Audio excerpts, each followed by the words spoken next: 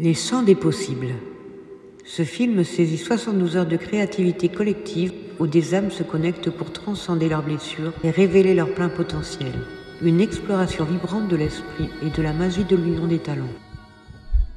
L'art de pratiquer l'énergie avec ces beaux outils que sont les mains est une pratique ancienne qui utilise une énergie subtile pour soigner et apaiser les maux physiques et émotionnels. Les guérisseurs de l'âme, ceux qui maîtrisent cet art, canalisent cette énergie à travers leurs mains pour équilibrer le corps, réduire la douleur et stimuler le processus de guérison. Ils peuvent exercer à distance ou en posant leurs mains sur des zones spécifiques du corps, guidés avec une profonde connexion avec l'énergie de l'univers. Cet art peut également s'appliquer aux éléments naturels comme les légumes et l'eau.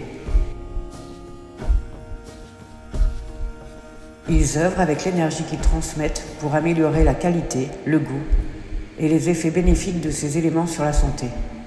Magnétiser l'eau, par exemple, consiste à la restructurer énergétiquement pour qu'elle devienne un allié puissant pour le corps, favorisant la digestion, renforçant le système immunitaire et purifiant l'organisme.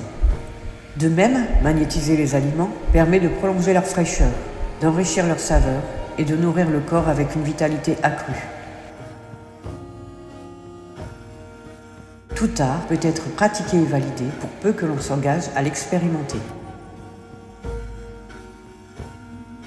Cet art est à la portée de tous ceux qui souhaitent explorer le mystère de la vie et de la guérison, utilisant les mains comme canaux de cette force invisible mais puissante. Cette pratique, loin d'être réservée à quelques initiés, invite chacun à découvrir le potentiel infini de l'énergie à travers l'expérimentation et l'ouverture du cœur.